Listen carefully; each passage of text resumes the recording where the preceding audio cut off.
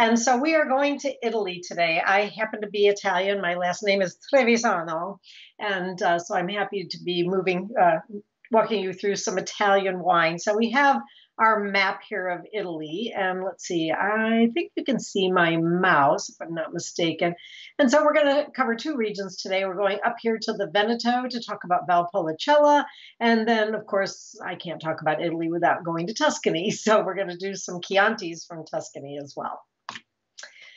So, why Italy? Why do we talk about Italy so much? Because it's very significant uh, in our world. It is the number one uh, producing wine um, in the world, which is great, and it's also the number three uh, country in consumption. And when you think about that, the you know the size, you know, U.S. is number one, but don't let that fool you, considering you know we're probably five times the size of Italy. So uh, when you think of per capita uh, we're way behind, but we are in, we are number one in volume, and Italy is number three in volume. But boy, they sure beat us to death in per capita.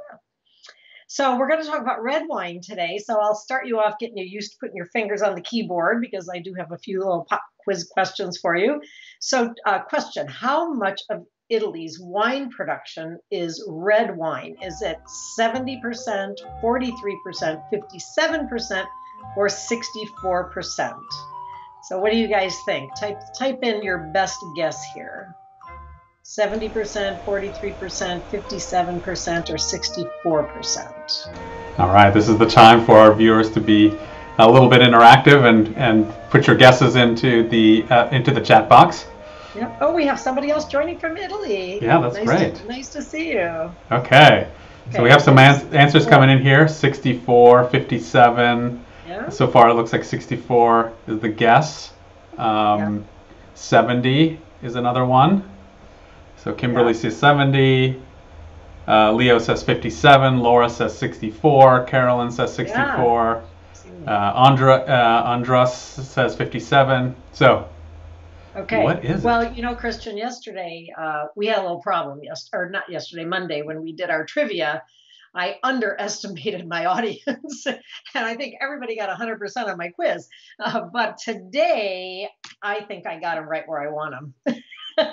so, actually, you'd be shocked to know I was quite surprised that Italian production is really more white. But when you think about it, so this is our chart, and of course the red bars are red and the yellow bars represent white.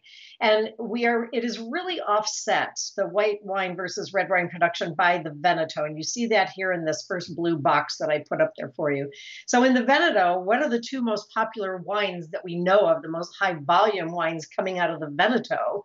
Um, would be Glera grape for Prosecco and Pinot Grigio. And that's a lot of volume in Italy. So that really eats up the clock pretty good for us. Um, now, the Veneto, the red wines there are things like Valpolicella.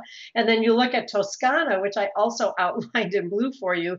Now, that might be what some of you were thinking when you were choosing 70%, because in Tuscany, 70% of the wines coming there, maybe even more, are red.